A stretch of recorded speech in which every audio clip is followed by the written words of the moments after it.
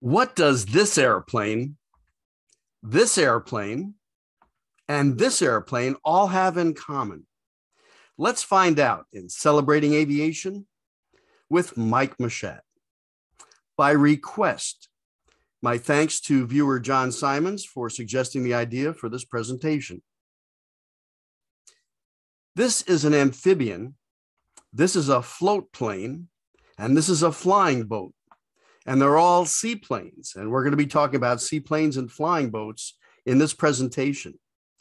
However, I have an announcement. Every time I do these compilations, I always get the feeling that I'm working on a one hour TV presentation of the history of the entire world. And I'm trying to get so much information into a 20 minute video. Inevitably, there are going to be airplanes that are missing. So, what I'm going to do is give you a representation of the significant aircraft in the history of seaplanes and flying boats. So, let's get started. We're going to be showing you sport airplanes, the great flying boats of the 1930s, and unique seaborne aircraft throughout history. Let's start at the beginning with Glenn Curtiss and the Model E in 1911, acknowledged as the first true seaplane able to take off and land from water.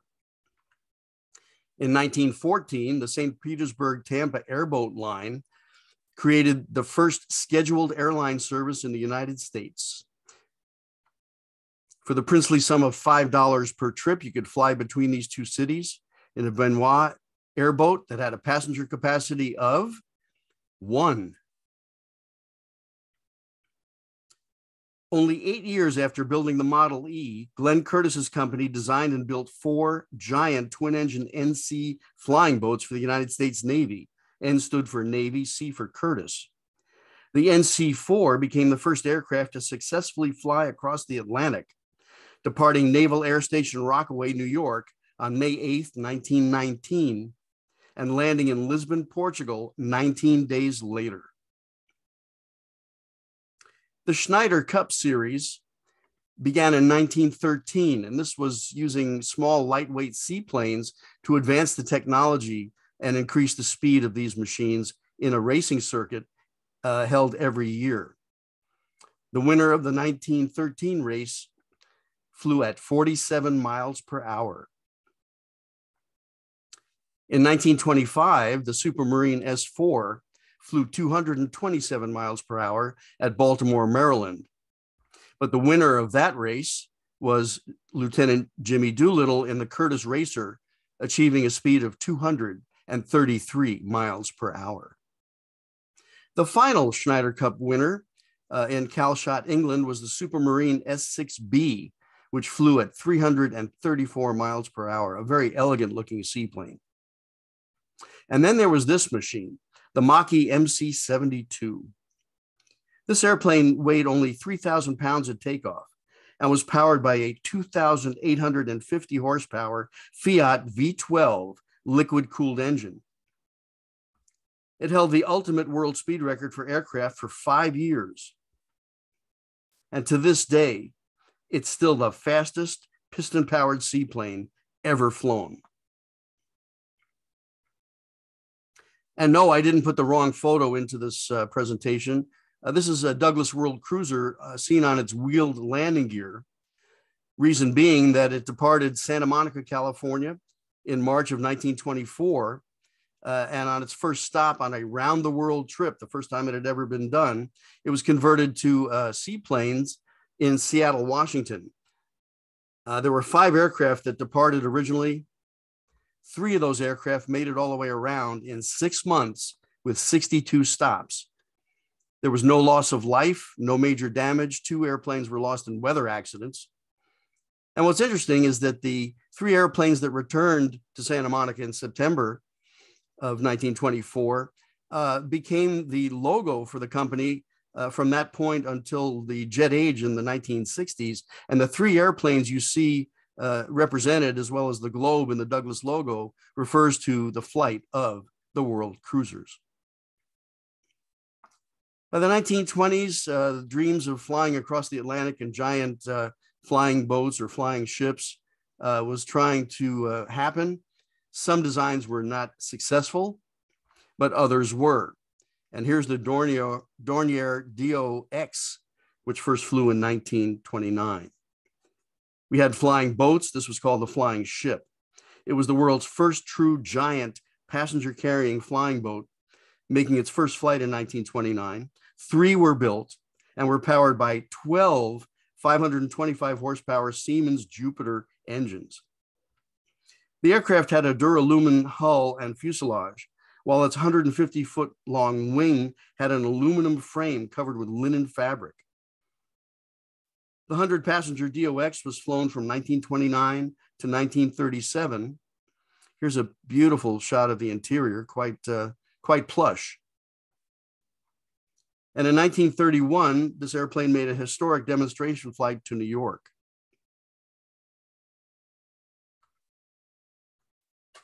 In World War II, the Blohm and Voss BV 222 Viking became the largest flying boat uh, flown during that conflict. But a larger flying boat was taking shape in the United States. And this was the Hughes H 4 Hercules, built in Culver City, California, out of laminated wood. The airplane was uh, built in a large factory in Culver City and then moved by truck in eight large pieces to Long Beach, California, where it was reassembled like a giant model airplane. The H4, known as the Spruce Goose, even though it was built out of birch, made its one and only flight on November 2nd, 1947, with Howard Hughes at the controls. After the war, giant flying boats were seen as the uh, main means of aerial transportation since they could land at uh, seaports anywhere around the world. The Latécoère 631 was one of these designs from France. 10 631s were built, and the aircraft carried 46 passengers. It had a cruise speed of 245 miles an hour. It was flown by Air France until 1948 and with other companies making its final flight in 1955. An interesting looking airplane. Here's the short Sunderland. A total of 792 of these airplanes were built as cargo and troop transports. And in 1948, several Sunderlands were flown in the Berlin airlift by landing on nearby Lake Havel. Sunderlands then flew a thousand missions and carried a total of 4,500 tons of salt and critically needed supplies.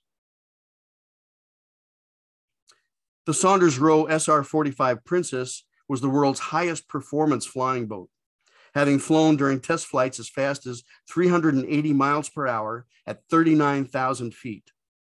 Designed to carry 105 passengers on transatlantic routes, the double deck Princess was powered by six Bristol Proteus turboprop engines and had a remarkable 6,000 mile range with a 15 hour endurance. Here's the modern looking flight deck of the SR 45. And as impressive as this airplane was, new faster land planes captured the market, and the Princess never saw operational service. Saunders Roe also built a jet powered flying boat, the SRA 1 in 1947. In 1953, Convair in San Diego built the XF2Y Sea Dart. This is an interesting concept. The original configuration had one, uh, what was called a hydro ski, and that was later modified to a twin ski configuration seen in this retouched photo of the Sea Dart that's on display at the San Diego Air and Space Museum. The Sea Dart is the only seaplane in history to have achieved supersonic flight. And of course, the Martin twins, the PBM Mariner in 1940 and the P5M Marlin in the 1950s, which flew until the late 1960s. I don't know if you built a Revell kit. I have to tell you, it's probably one of the top five models of all time. It's a fabulous, fabulous kit. In the 1950s, turboprop power suddenly became all the rage. The Allison T40 geared uh, turboprop with contra-rotating propellers was fitted to a number of different airplanes, and unfortunately, none of them were successful. But this one actually saw service with the Navy, the Convair R3Y Tradewind. It was a troop and cargo transport and also served as a tanker in a test with uh, four Grumman Cougars, as seen here. It had an interesting uh, bow door that lifted up, ramps lowered down, and you could see the bulldozer uh, being driven out. And this is how the troops were loaded aboard as well. Wait a minute, where have I seen a scene like this? Oh, yeah, that's right. Well, if you thought a turboprop powered flying boat was really cool, how about a turbojet flying boat? The fabulous Martin Seamaster. First flown in 1955, the uh, prototype seen here was really a promise of things to come. The cockpit was ultra modern for its day, very clean layout. This is the uh, Seamaster in its uh, docking unit, uh, a wheeled assembly that the boat taxis into on the water and then rolls up on land. It's called beaching gear. The production configuration P6M2 first flew in 1956 and featured upgraded engines and a military style windshield and canopy. Capable of flying more than 600 miles per hour, the P6M2 was intended as a high speed, long range photo reconnaissance platform and bomber, as well as a torpedo attack and mine laying aircraft. Although the Seamaster was canceled, there was an airplane that did fulfill that role. It was from the Soviet Union. It was called the Beriev BE 10. It flew that same year and carried out those missions for many years after. The BE 200 was a modern development of an earlier, larger design and first flew in 2003, serving today as a water bomber and commercial transport, carrying up to 72 passengers.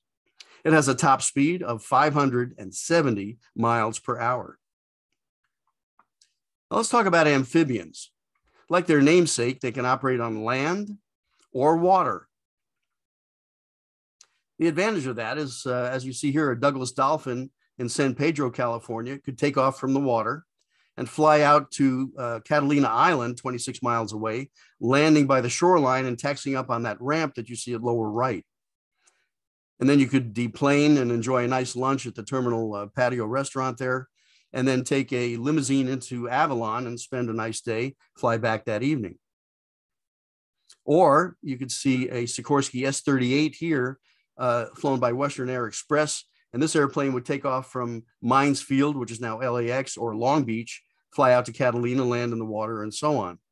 So an amphibian was really a versatile way of uh, operating both on land and water. In World War II, probably the most famous amphibian was the consolidated PBY Catalina, or in a night mission uh, called the Black Cat. Grumman built a series of beautiful uh, amphibians uh, the widgeon and goose, to name a few. And here we see the Grumman mallard flying over the Statue of Liberty. Now, I apologize for the quality of this photo, but the mallard that you see at bottom belonged to the New York Daily News. They had a operation at Zahns Airport in Amityville, Long Island. You can see the hangar at upper left. On the night of July 25th, 1956, the Italian liner Andrea Doria was inbound to New York in heavy fog and it uh, collided with the Swedish liner Stockholm. The mallard that you see here left early in the morning and flew out to the scene of the sinking Andrea Doria. And this is the airplane that took all the historic photos that you saw in Life magazine. Tragically, 51 lives were lost in the accident, but many of the other the remaining passengers, thankfully, were all rescued. And speaking of rescue, how many of you built this kit? the fabulous Grumman Albatross. Queen of the Mayday. I loved ads like this, really inspirational as a kid growing up.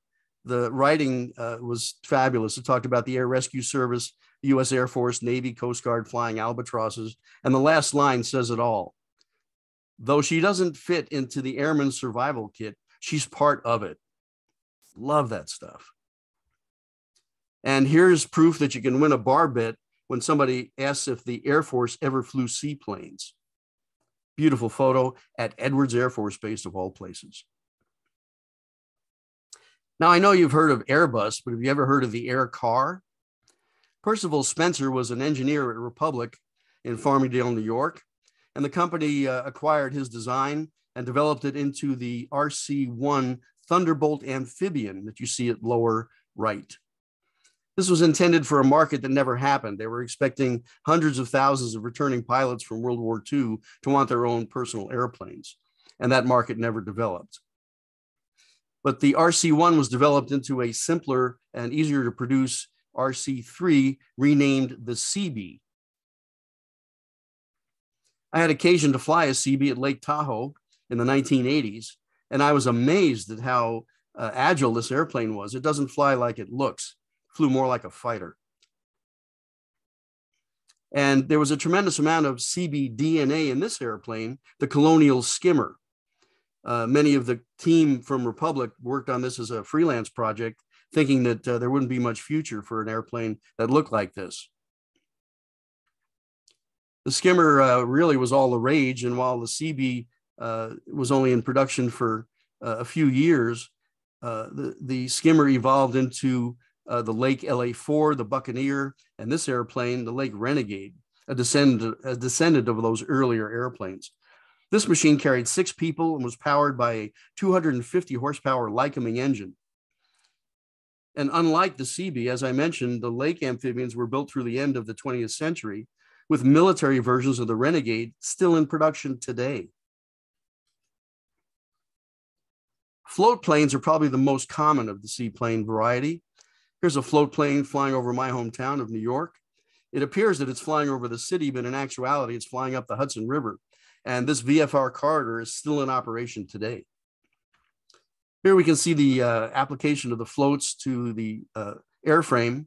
And this is a basic configuration of struts that is still used in today's converted seaplanes. Now, this airplane is an amazing machine. The concept of launching seaplanes from ships via catapult and having them deliver mail and freight to ports well before the ships themselves arrived dates back to 1929. This elegant Art Deco design of the Gullwing HA 139 was revolutionary in 1937, and the three aircraft built were stationed aboard ships in New York and the Azores. The advantage of a catapult launch is that the airplane doesn't consume large amounts of fuel on takeoff, giving the HA 139 an impressive range of 3,000 miles. The airplane cruised at 160 miles per hour and flew the New York Azores run in 1937 and 1938. And could this be the largest float plane ever built? It's a conversion of the DC 3 or C 47 Army transport the Douglas XC-47D technically is an amphibian, but we're going to call it a float plane here. And which one was bigger? Well, let's look at the specs. Both airplanes were 64 feet long, and the uh, 139 had an 89 foot wingspan, the C 47, 95 foot wingspan. So let's just say that these two airplanes were the largest float planes ever built. At the other end of the size spectrum, you've got uh, converted single engine fixed wing aircraft like the Cessna 180. And no mention of seaplanes would be complete without the de Havilland Beaver and Otter. You see the Beaver at top with a radial engine and the Otter uh, converted to turboprop. Both these aircraft began as uh, piston powered air, airplanes and then uh, were both converted to turboprop and are still in use today. Pontoon planes, what's that? Well, that's a single pontoon uh, used uh, as the float and then outrigger floats. Here's the Grumman Duck, which was an outgrowth of the Loening amphibians. And the Vought Kingfisher, which was a scout plane uh, based aboard uh, Navy cruisers and launched by catapult. After finishing its mission, the uh, Kingfisher would land next to the ship and be hoisted aboard by crane to fly again. And now we come to the flying boats. These are the classics. And we begin with the Consolidated Commodore in 1929. A precursor of the many great consolidated flying boats to come, the Commodore carried 22 passengers and flew from Miami to South America. NYRBA, as it was called, stood for New York, Rio, and Buenos Aires. And this company became part of the Pan American World Airways system in 1930. Next, we have the Sikorsky S-40. And while the Sikorsky name will always be synonymous with helicopters, the company built a series of very successful flying boats, such as this 38 passenger S-40, boarding passengers in Miami in 1933. Used on Caribbean and South American routes, the S-40s flew at a stately 115 miles per hour and had a 900 mile range. Next was the Sikorsky S-42, which offered greater speed than the larger S-40 and carried 32 passengers at 150 miles per hour on routes over the Atlantic and the Pacific. Clipper names of different countries were applied depending on the routes being flown. Here's the interior of the S-42, rather posh.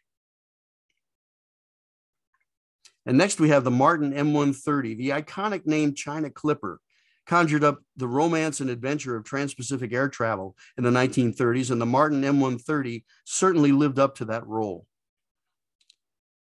Carrying 41 passengers on routes up to 3,100 miles allowed the M130 to fly from Alameda, California to Manila in the Philippines in only five stops. Although much sleeker and more modern looking than the Sikorskys, the Big Martin still sported struts and wires. The answer to that problem can be seen in this flying boat concept from Consolidated in the mid 1930s. But the airplane that emerged as the ultimate Pan Am Clipper was this machine, the ultra modern Boeing 314. The 314 was derived from technology leading to Boeing's legendary B 17 bomber. It carried up to 74 passengers in luxury at 180 miles per hour and had a range of 3,200 miles. Let's take a look at the cockpit of this airplane. And in every term, every sense of the term, it's really a flight deck. The crew complement at that time was a captain, a co-pilot or first officer, a radio man, flight engineer, and navigator. Five men in the cockpit guiding this aircraft across the Pacific and the Atlantic. Interestingly enough, when Pan Am flew their first jet across the Atlantic in 1958, there were also the same complement of five men in the cockpit. Some things don't change. Here's the dining salon in the 314, quite elegant. And now we come to uh, the close of our presentation with the Martin Mars. And I consider this photograph to be one of the greatest promotional photos ever taken in aviation. How did they get that J3 Cub up on the wing of the Mars prototype? First flown in 1942, the first Mars sported a twin tail configuration, much like the Martin PBM. And this evolved into the production version, the JRM 1, powered by Wright R3350 radials. A single JRM 2 was powered by Pratt & Whitney R4360s, and a total of six Mars flying boats were built and flown in Navy transport service. These aircraft had a range of nearly 5,000 miles. Two of the Mars flying boats survived through the 1950s and were converted into civilian water scooping fire bombers in 1959, based in British Columbia. Capable of carrying 7,200 gallons of water, these two aircraft were indispensable in fighting large forest fires all over the Western United States and Canada. The first aircraft, named Philippine Mars, was retired in 2015, while the Hawaiian Mars 2, seen here, was retired in 2016 with 23,500 hours total time. It is currently listed for sale for $5 million. And flying boats are still flying in operation today. This is the Shin Meiwa, I hope I pronounced that correctly, PS1. A later development of this airplane is still in service with the Japanese Air Self Defense Force. And of course, the Canadair CL 415 Super Scooper. I'll tell you, living in Southern California, these airplanes are a godsend. We see them every fire season, and they have uh, really helped in uh, minimizing the damage from wildfires in California. So, if you couldn't tell, yeah, I love seaplanes. And there you have it the stories of seaplanes and flying boats throughout history. I hope you enjoyed this presentation and thank you for celebrating aviation with Mike Machat. We'd love to have you subscribe to the channel if you're not already on board. And please hit the like button. We appreciate that, and it certainly helps with YouTube. So until next time, take care.